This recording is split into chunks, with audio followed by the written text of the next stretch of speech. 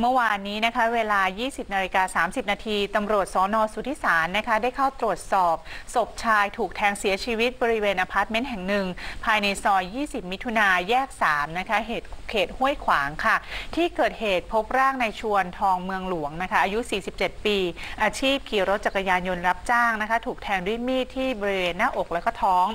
ต่อมาตำรวจสามารถจับตัวผู้ก่อเหตุไว้ได้นะคะก็คือนางสาวสุวรรณาทองเมืองหลวง ซึ่งเป็นน้องสาวผู้ตายสอบสวนภรรยาในชวนนะคะให้การว่าก่อนเกิดเหตุเนี่ยสามีได้นั่งดื่มสุราในห้อง เธอได้พูดให้สามีฟังเรื่องน้องสาวของสามีชอบบ่นเรื่องที่ไม่ชอบให้ใครเนี่ยทำเสียงดัง ด้วยความเมาสุรานะคะสามีก็เลยโมโห แล้วก็ลุกพรวดพลาดออกไปที่ห้องนางสาวสุวรรณา ซึ่งก็อยู่เยื้องๆกัน แล้วก็เคาะประตูห้องเสียงดัง ก่อนที่ทั้งคู่เนี่ยจะมีปากเสียงกันอย่างรุนแรงนะคะ จนทำให้นางสาวสุวรรณาใช้มีดแทงพี่ชายจนเสียชีวิต ขณะที่นางสาวสุวรรณาผู้ก่อเหตุก็ให้การว่าที่ผ่านมาเนี่ยมักถูกพี่ชายหาเรื่องทะเลาะเป็นประจำขณะเกิดเหตุพี่ชายได้เข้ามาทำร้าย เธอจึงตัดสินใจใช้มีดแทงพี่ชายจนเสียชีวิตค่ะตำรวจได้แจ้งข้อหาทำร้ายร่างกายผู้อื่นจนถึงแก่ความตายดำเนินคดีตามกฎหมายต่อไปค่ะ